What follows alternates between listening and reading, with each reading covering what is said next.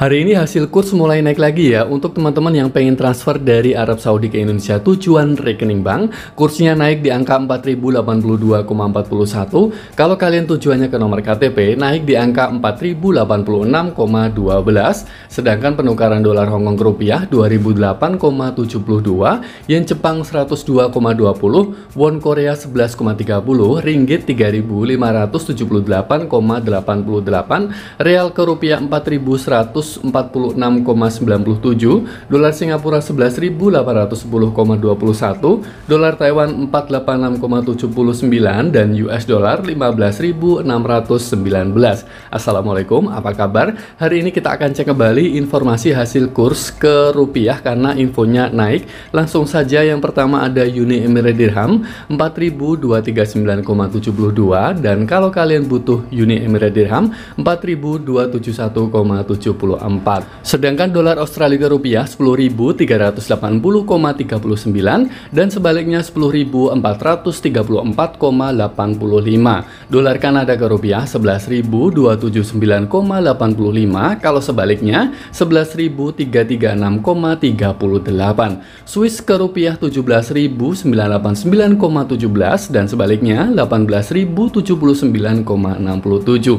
Untuk Cina Yuan sendiri 2.180 80,48 kalau kalian butuh yuan 2197,63 euro ke rupiah 16.821,79 dan sebaliknya 16.893,13 pound sterling ke rupiah 20.245,35 kalau sebaliknya 20.337,51 kita sudah sampai di dolar Hongkong 2008,72 kalau kalian butuh dolar Hong Kong 2015,10.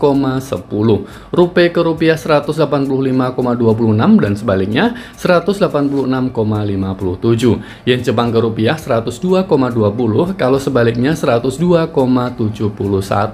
Won ke rupiah 11,30 dan sebaliknya 11,32. Kita sudah sampai di ringgit Malaysia 3.578,88 kalau kalian butuh ringgit 3.608,10 Disusul mata uang Norwegia ke rupiah 1422,24 dan sebaliknya 1425,41.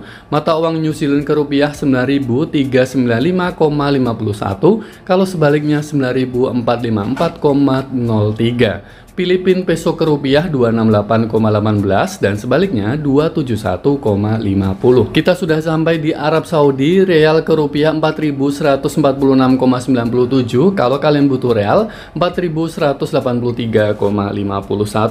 Mata uang Swedia ke rupiah 1474,51. Kalau sebaliknya 1477,70. Dan kita sudah sampai di dolar Singapura 11.810,2 21 kalau sebaliknya 11.863,50 Bat Thailand ke rupiah 460,33 dan sebaliknya 466,99 Dolar Taiwan ke rupiah 486,79 dan sebaliknya 488,08 Kita sudah sampai di US dollar hari ini naik sedikit 15.619 kalau kalian butuh US dollar 15.644.